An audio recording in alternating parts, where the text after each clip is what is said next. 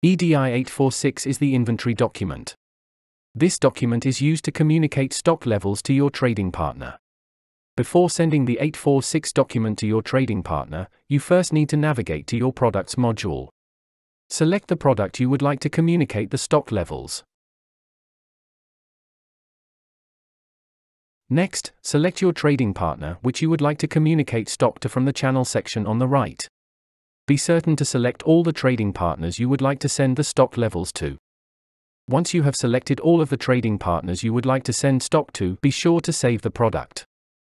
If you would like to do this for multiple products, you can use the import and update function which can be found underneath the actions drop down. By using the import and update products function, you can update multiple products at the same time. Next, navigate over to your EDI integration dashboard. Once in the dashboard, scroll down and click on Export All Stock in the stock window.